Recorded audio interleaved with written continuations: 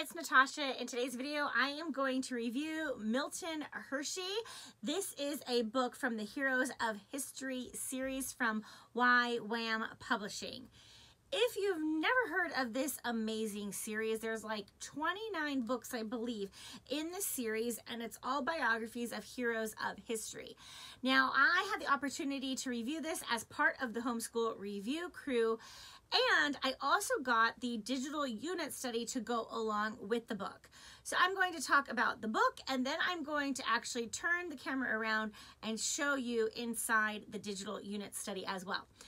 Now, I got to choose which hero of history I wanted to read about and I chose Milton Hershey. I thought my kids and I would really have fun with this.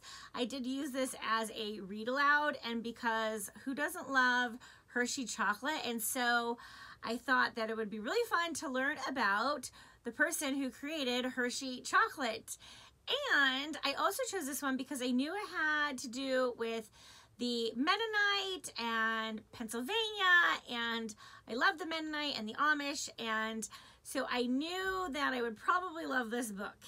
Also, Hershey Kisses are kind of an integral part of mine and my husband's love story. So I just had to choose this one, basically. If you want to hear that story, leave me a comment down below. But anyway, so this book takes you through Milton Hershey's life from the time he was a little tiny boy until um, his death. And it tells you everything in between. I don't want to give away too much of the story, but I will give you a a little background. Um, basically, um, Milton Hershey comes from a Mennonite family. His parents had a a strange marriage. They weren't always together. His father was very kind of flighty and had big dreams, but little fruit from those big dreams. And um, Milton Hershey wasn't very good in school, but he had this great brain and he started working for a confectioner and then through that experience fell in love with baking. And first it was caramel but then it turned into chocolate. He also experimented with other things like gum and cough syrup which like who knew um, the military even hired the Hershey Company to make like bars for the military during the world wars that could like withstand certain like heat and cold and could be submerged for an hour in the water and I mean all kinds of crazy stuff. So because um, of when he lived, he lived from 1857 to 1945.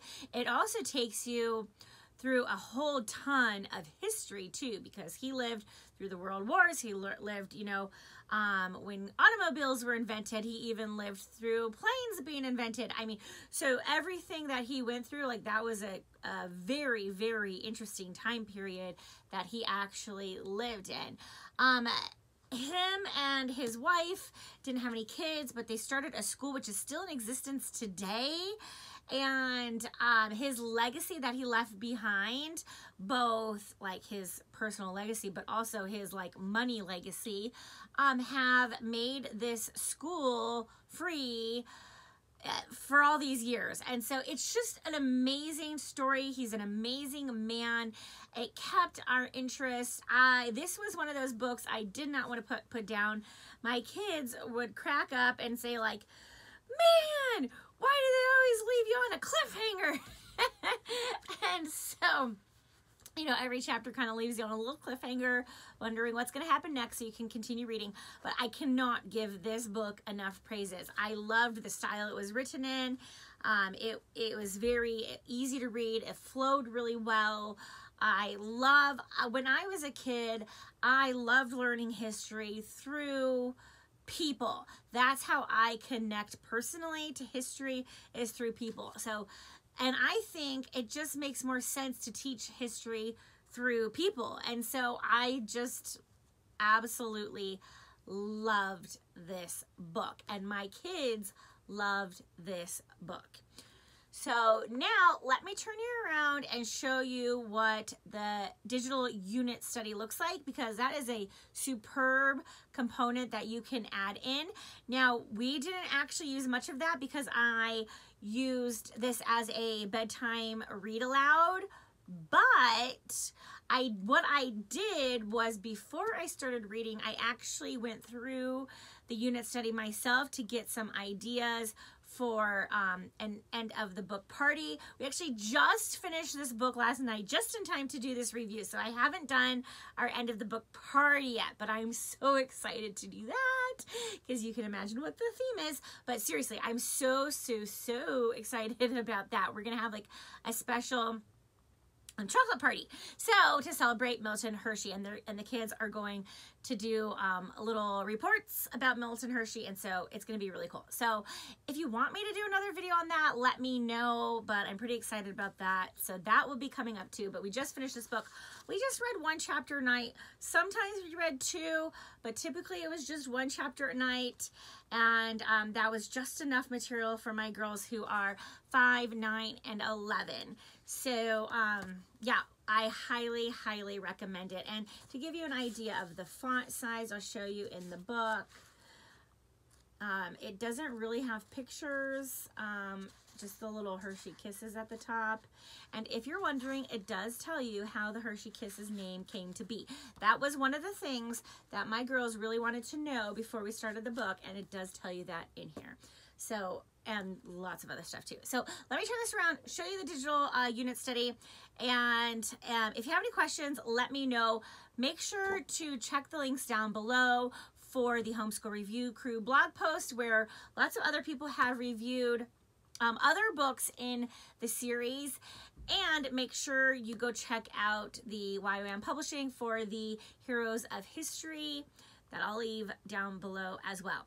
So thanks so much for watching. And now let's see that digital unit. When you get this, it is a download and it says start here and you click here and we can see that we can read more about Milton Hershey if you want to know more about him. We can also click the unit study which has guides for small groups, classroom, and homeschool. So I'm going to click the homeschool and here is the homeschool over overview for unit study curriculum guides and it talks about how to use it, uh, adapting it for the parents' role, teaching social studies with the unit study curriculum guides, teaching language arts with the guides, gives you an introduction, um, and it tells you how you can use it as your core curriculum for U.S. history, how it can complement another curriculum, and how the Heroes of History program can enhance other subject areas such as social studies, language arts, and character development uh, subject integration and special interest and independent study. And you can use them as history biographies or family read alouds. And then it gives you this table, which I think is super valuable for each of the heroes of history and the time period. So you can, if you wanted to go chronologically, you could do that. Um, it also tells you the character uh, qualities and the social studies topic. So if you want to go by character quality or social studies topic, you can uh, do that too. But it breaks it down for everybody. And see all that. And then it has a one year track and a two year track.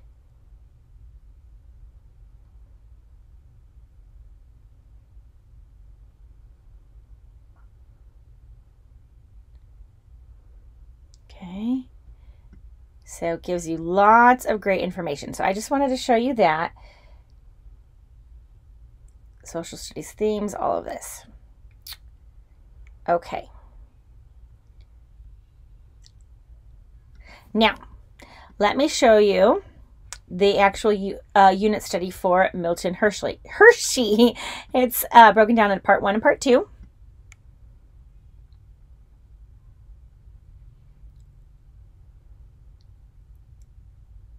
There he is.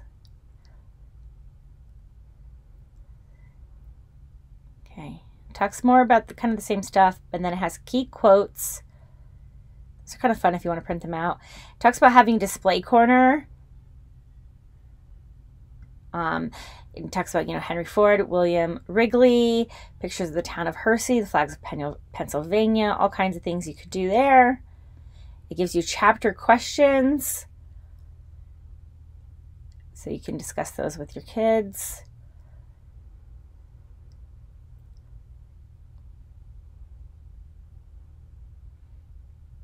Student explorations, creative writing, hands on projects.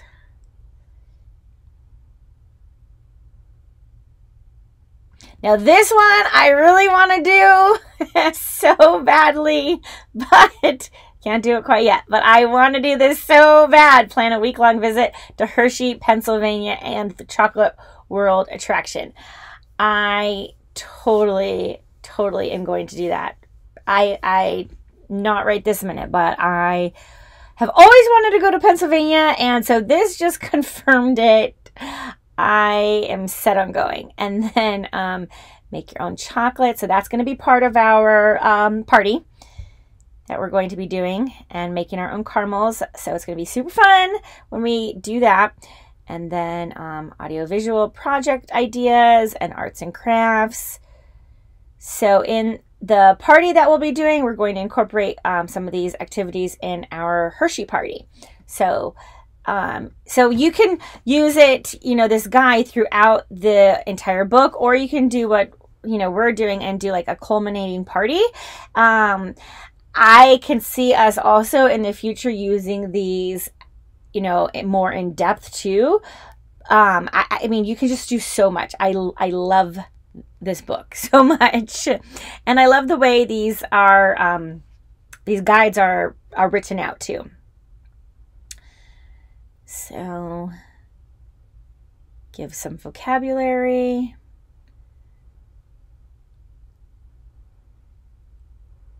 Related themes to explore. I mean, isn't this just awesome?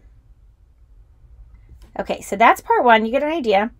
And now part two has this Milton Hershey fact sheet and the maps and the timeline. So these are the printables that you would want to like print for each one of your uh, students that was participating. So I hope that was helpful to you. As you can see, it is amazing. I love it so much.